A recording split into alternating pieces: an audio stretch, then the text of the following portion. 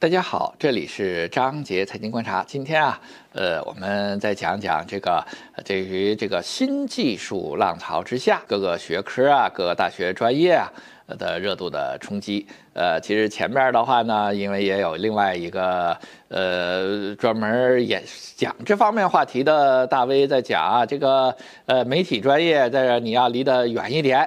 呃，然后引起了全国的讨论，然后呢，也是呃媒体专业自己呢，呃推波助澜，最后推波助澜证明什么？他自己确实呢，呃可能有很多问题，呃而这个呢，新技术产业对于这个世界有什么样的影响呢？今天呢，呃我们就进行一下这个话题，我们看看这个美国的呃调研是什么样子，呃我们看看呢相关的报道，据啊呃华尔街见闻的报道啊。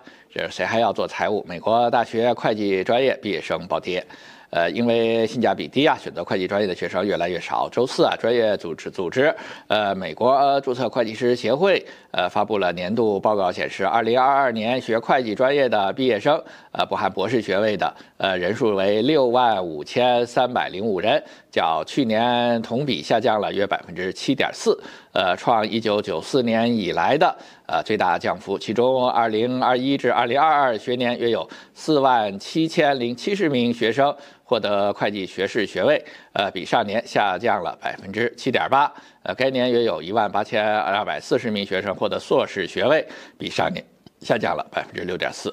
呃，会计啊，嗯，行业正面临这样一个现状，越来越多的从业人员或跳槽或退休，没有足够的新来人员补上这个缺口。呃，然后同时呢，还有一组，呃，甚至啊，还有触目惊心的数字：二零一九年至二零二一年年间啊，美呃美国有超过三十万名会计师辞职。对于呢，呃，美国大学生最后悔的呃专业，呃，我们这里头就看见新闻专业了。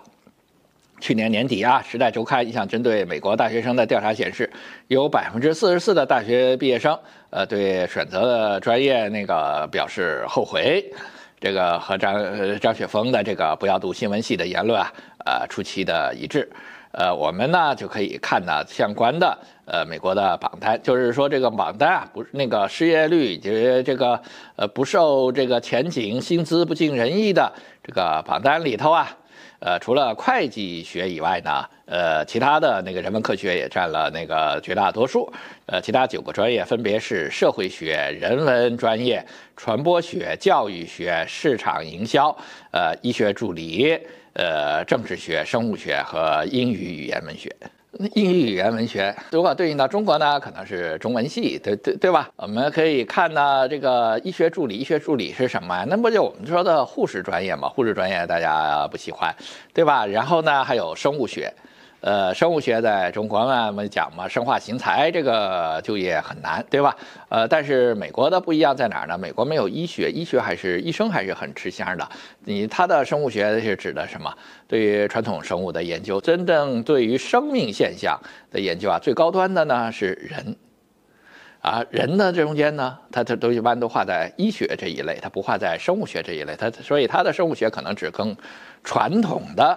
一些生物学，你凡是跟呃人有关的，他都愿意把它挂成医学，因为不像中国啊，呃，中国你变成那生物学还是挺高大上的，你变成医学呢，呃，医生的地位远不如美国，所以美国这些地方呢，其他好多地儿它是挂成医学的，你要明白这里头的。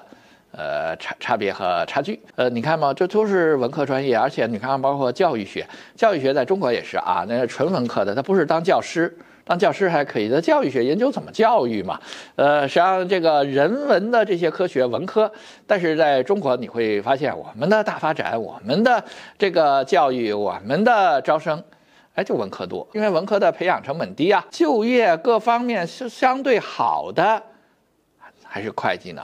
而且呢，你像吧这个会计师注会什么的，呃，大家都还是挺趋之若鹜的。你像这个在国内呢，注会还挺热的。你看在美国啊，呃，注会落日黄花了，为什么他讲就是这？今天我们要讲这个洗牌呢？它的落日黄花很大的程度在于哪儿啊？它是 IT 的崛起，人工智能的崛起，所以它的这个记账呢，它越来越变成电子化的事情。其实当年我们是给我是给税务局做过系统的，所以我们很清楚这里头，它你真正你这中间做的时候，可能是人家说了嘛，是其他行业的人抢了你的饭碗。所以好多事儿啊，做这个会计，真正现在抢会计饭碗的是 IT 工程师。呃，实际上包括这个，在很多年前我都可以跟您在讲，国家税务总局啊。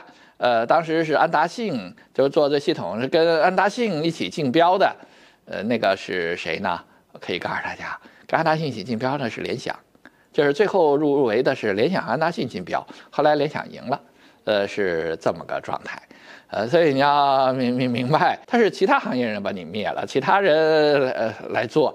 呃，然后现在呢，人不是为什么讲跨界呢？因为他的那个知识啊、检索呀。这个手段呢，跟别人完全不一样，对吧？你看现在，呃，本人能评评红楼，为什么咱能评评红楼啊？咱那个，呃，知识的检索呀，干什么的？这个渠道，呃，你要说像原来的话，你想查一个文献的话呢，你不记在脑子里，你想查一个文献都得跑呃图书馆的话。那意味着什么？我们不是这行的人，做不了这件事儿。你只有这行的人，他在那，他在这行的图书馆泡着，这行的这些知识他都记在脑子里还可以。现在呢，我们不是这行的人，我们关心一下，我们在网上敲敲键盘，我们去查，还都是能查到来源的。完全不一样，所以它实际上是什么？在这个信息时代啊，在这个检索时代，在这个人工智能呃扩张时代，它就是很多的替代。你看英语语言文学，这个的话呢，你看 Chat GPT 的写作，对吧？虽然说现在写作呢可能有些问题，将来它会越来越好。你要会计也是这样啊，你要知道，在没有了会计电算化，呃，没有一个那个简单的财务软件的时候的话，你这个会计这个记账。